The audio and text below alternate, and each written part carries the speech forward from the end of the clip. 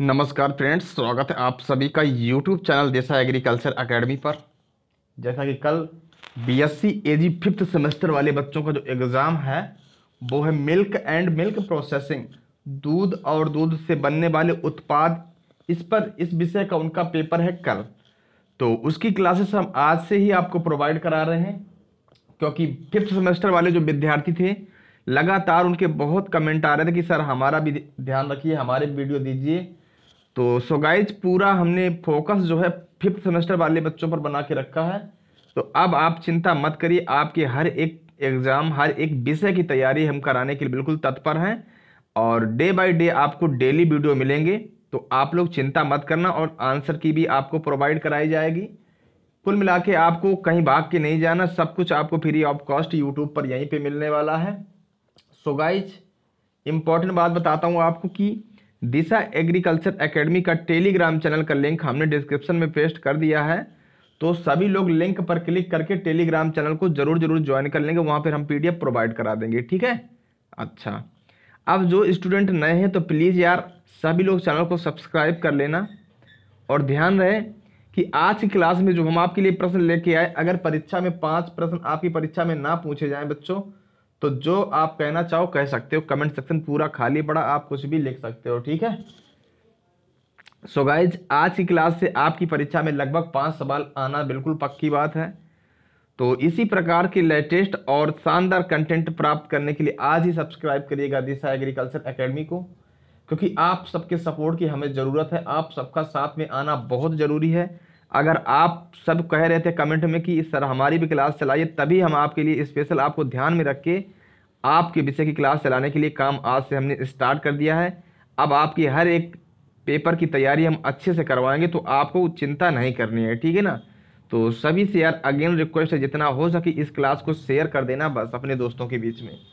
तो स्टार्ट करते हैं वीडियो को पढ़ते हैं क्वेश्चन नंबर फ़र्स्ट इसके बाद में जो वीडियो लेके आएँगे, उसमें पनीर छेना, खोआ और आइसक्रीम क्रीम मट, मट, बटर मतलब इनसे जो प्रोडक्ट से जो भी क्वेश्चंस बनेंगे उन क्वेश्चंस को भी नेक्स्ट वीडियो हम कवर कर लेंगे। ये क्वेश्चंस जो लिखा रहे हैं रामबाण क्वेश्चंस है परीक्षा में इनका आना ही आना है ये समझो आप ठीक है? So guys question number first दुग्ध शर्करा जिसको बोलते हैं क्या लैक्टोज प्यारे बच्चों क्वेश्चन अगर पूछा जाए कि दुग्ध शर्करा किसको कहते हैं लैक्टोज को। सो गाइज़ लैक्टोज किस प्रकार की सरकरा होती है? ये डाइसैकेराइड कैटेगरी में आती है। किसमें आती है? डाइसैकेराइड क्यों? क्योंकि इसमें सरकरा के दो अणु लेते हैं भाग, इसलिए डाइसैकेराइड कैटेगरी में आते हैं। और लैक्टोज बच्चों, ग्लूकोज, किसके किसके द्वारा मिलती बनके? Glucose plus galactose. So guys glucose plus galactose से मिलकर बनती है लैक्टोज डाइसैकेराइड है, जिसको दुग्ध शर्करा या फिर मिल्क शुगर के नाम से भी जानते हैं। और दूध का प्रमुख कार्बोहाइड्रेट की बात करें, तब भी आंसर करोगे लैक्टोज सो गाइज़ दूध में अमूमन पाँच परसेंट के आसपास लैक्टोज शर्करा पाई जाती है। तो कुछ एक्स्ट्रा पॉइंट थे आई होप आपको पसंद आए होंगे। क्वेश्चन नंबर दो। दूध यानी जो मिल्क है, इसमें किस तत्व की अधिकता पाई जाती है? काफ़ी अच्छा क्वेश्चन है आपके सामने कि जो दूध है, इसमें किस तत्व की अधिकता होती है? सो गाइज़ इसमें कैल्शियम और फास्फोरस की अधिकता पाई जाती है। जो मिल्क है, यानी दूध है, इसमें कैल्शियम और फास्फोरस की अधिकता पाई जाती है। अगर हमसे बात करें कि दूध में जो है, कमी किसकी पाई जाती है? सो गाइस, दूध में कमी पाई जाती है आयरन मीन्स लोहा और विटामिन सी की। तो प्यारे बच्चों, दूध में कैल्शियम और फास्फोरस की तो अधिकता पाई जाती है। लेकिन हमसे कमी की बात करेगा तो यहाँ पे आयरन एंड विटामिन सी बिल्कुल सही उत्तर माना जाता है। क्यों बच्चों? क्योंकि हम यह भी जानते हैं कि जो अधिक दूध देने वाले पशु होते हैं, उसमें एक बीमारी लग जाती क्या? Milk fever. और वो बीमारी किस तत्व की कमी से लगती है? तो कैल्शियम की कमी से लगती है। तो ऐसे भी प्रश्नों को हम समझ सकते हैं। सो गाइज़ क्वेश्चन नंबर तीन आपके सामने है। ये काफ़ी अच्छा क्वेश्चन यानी मिल्क जो दूध है, इसका सफ़ेद रंग बच्चों किसके कारण होता है? दूध यानी मिल्क जो है, इसका सफ़ेद रंग किसके कारण होता? या हमसे पूछ ले कि दूध में उपस्थित प्रोटीन कौन सी है? तो केसेन।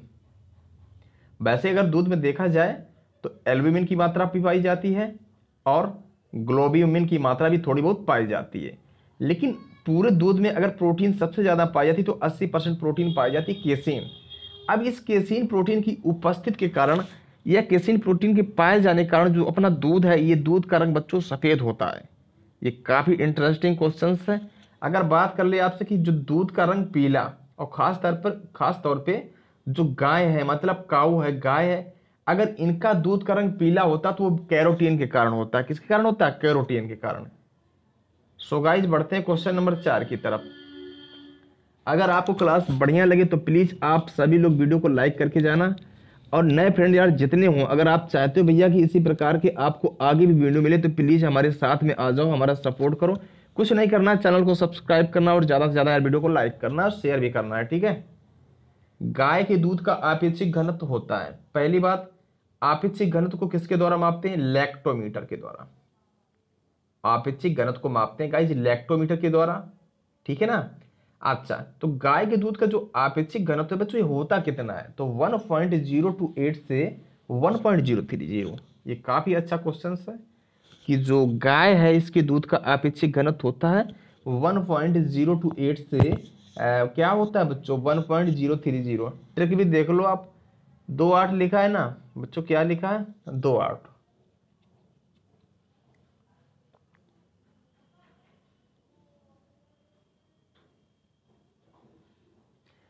दो आठ लिखा है अगर इसको जोड़ो तो दस हो जाता है। अर्थात one point zero two eight से one point zero three zero.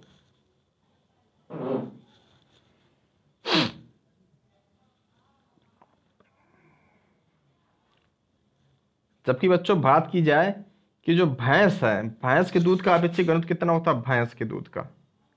भैंस।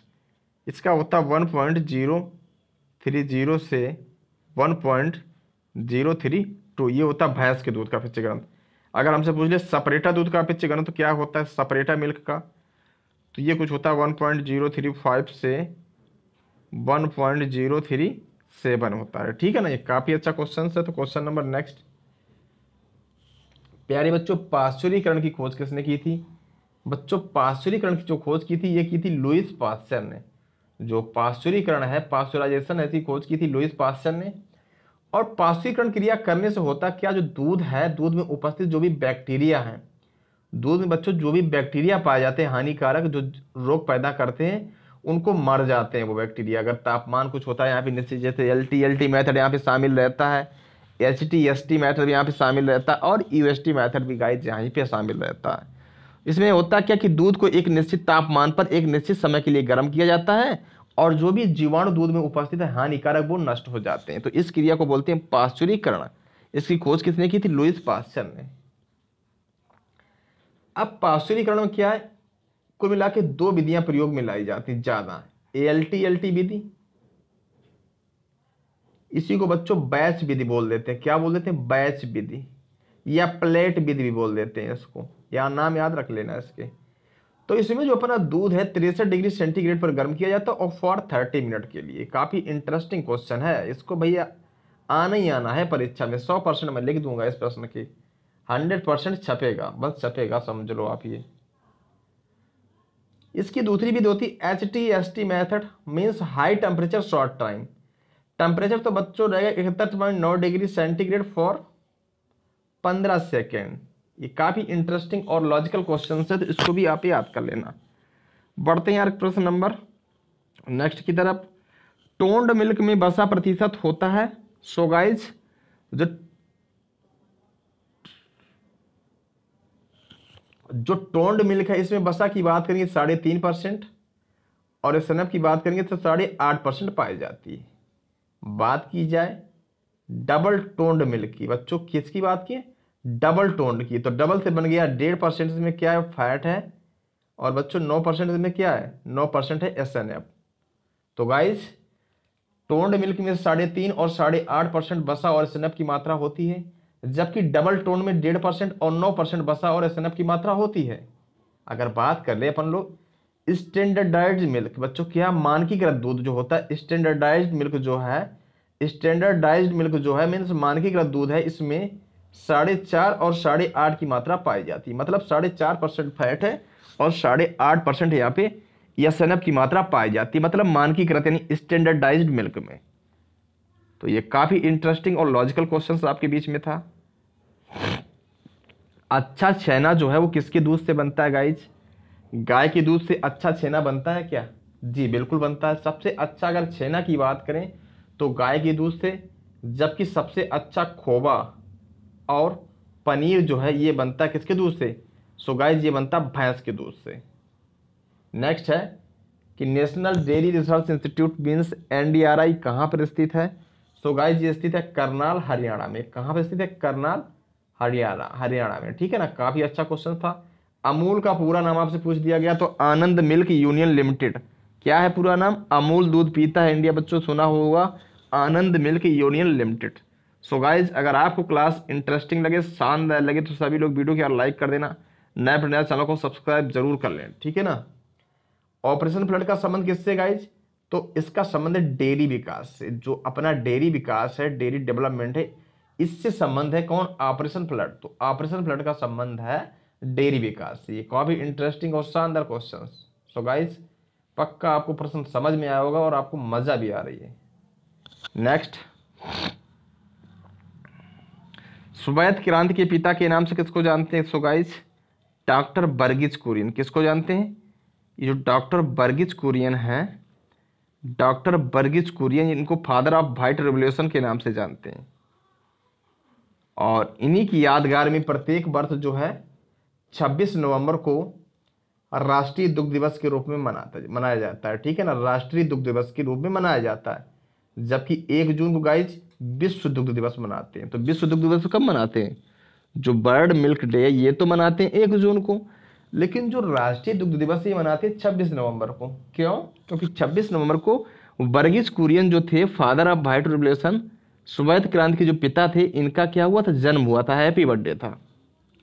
सो गाइज़ आपको क्लास पसंद आ रही होगी। नेक्स्ट दुग्ध दोहन की सर्वोत्तम विधि आपसे पूछी गई तो पूर्ण हस्त विधि। ये दुग्ध दोहन की सबसे अच्छी विधि होती पूर्ण हस्त या फिर मुट्ठी विधि, या फिर बच्चों इसी को बोलते फुल हैंड मेथड या फिर फेस्टिंग विधि के नाम से भी इसको जानते हैं। तो सबसे अच्छी विधि होती है मिल्किंग दूध दोहने की, ठीक है ना? वसा का अपेक्षित गलत बच्चों कितना है? One point zero nine three one माफ़ कीजिएगा, ज़ीरो पॉइंट नाइन थ्री, ये होता वसा का अपेक्षिक घनत्व, ठीक है? दूध में उपस्थित प्रोटीन की बात करी जाए तो कौन सी थी भैया? केसिन थी। और किस रूप में पाई जाती प्रोटीन? तो दूध में जो प्रोटीन है बच्चों, वो कोलाइडल रूप में पाई जाती है। किस रूप में पाई जाती है? कोलाइडल रूप में। जबकि फैट यानी जो बसा है बसा है यह इमल्सन के रूप में पाई जाती है। बसा किस रूप में पाई जाती है? इमल्सन के रूप में। ठीक है? और जबकि क्या है? लैक्टोज यानी जो शर्करा है, ये पाई जाती है यानी घोल के रूप में। तो ये इंटरेस्टिंग पॉइंट है, इनको आप याद करके जाएँगे एग्ज़ाम में। दूध की पीएच वैल्यू क्या है बच्चों? तो 6.4 से 6.6 ये दूध की क्या होती है? पीएच वैल्यू मानी जाती है। बच्चों, दूध क्या है? दूध एक कंप्लीट फ़ूड है मतलब पूर्ण आहार इसको बोल सकते हैं। दूध क्या है? दूध इज़ ए कंप्लीट फ़ूड प्यारे बच्चों, दूध में कमी होती है। जो मिल्क है, अधिकता तो होती है, इसमें किसकी होती भाई? कैल्शियम और फास्फोरस की अधिकता पाई जाती है। दूध में कैल्शियम व फास्फोरस की अधिकता पाई जाती है, ठीक है, लेकिन हम यार कह दें कि कमी किसकी पाई जाती है? तो दूध में जो कमी है, आयरन की है। किसकी है भाई? आयरन की है और विटामिन सी की कमी होती है, ठीक है। Question number next. एक किलोग्राम खोया के लिए कितना दूध लगेगा? अगर किसी भी फार्मर्स को खोया तैयार करना है तो कुल मिला के एक किलोग्राम खोया उसको तैयार करना दूध कितना लगेगा? क्योंकि हम बच्चों जानते हैं, एक लीटर जो दूध है, हम जानते हैं, एक लीटर दूध से खोया कितना बनता है? अगर दूध भैंस का है, अगर दूध भैंस का है बच्चों तो 250 ग्राम के आसपास खोया बनता है। अच्छा एक लीटर से बन गया 250 ग्राम तो हमें चाहिए कितना? एक किलोग्राम। एक किलोग्राम में कुछ कितने चाहिए? एक हज़ार ग्राम होते हैं बच्चों। ये जो है, इसका कितना गुना है? इसका बच्चों, ये चार गुना है। चार गुना है कि नहीं? तो इसका भी चार गुना करना पड़ेगा। मतलब हुआ कि जाके चार लीटर दूध की आवश्यकता पड़ेगी। कितने दूध की आवश्यकता पड़ेगी? चार लीटर की पड़ेगी। तो यहाँ पे चार लीटर दूध की आवश्यकता पड़ेगी एक किलोग्राम खोआ तैयार करने के। अगर दूध है भैंस का तो। ठीक है? सो so गाइज़ ये थे top twenty questions I hope आपको बहुत ज़्यादा अच्छे लगे होंगे। ठीक है ना? नेक्स्ट पार्ट अगर इस पार्ट को आप बहुत सारा प्यार और सपोर्ट करोगे, ज़्यादा से ज़्यादा लाइक शेयर और सब्सक्राइब करोगे तो बच्चों, हम आपके लिए दूसरा वीडियो भी आज शाम को प्रोवाइड करा देंगे। अब फैसला आपके हाथ में हो सके जितना क्लास को यार शेयर कर देना। इंटरेस्टिंग क्वेश्चन लाते हैं, शानदार कंटेंट है, आपको मज़ा आएगी और एग्ज़ाम में सीधे के सीधे सवाल आपसे पूछे जाएँगे। सो so गाइज़ आशा करता हूँ कि आपको यार वीडियो पसंद आई होगी। कमेंट सेक्शन में अपनी राय ज़रूर देना। तो यार मिलते हैं नेक्स्ट वीडियो में। तब तक के लिए नमस्कार। Thanks for watching.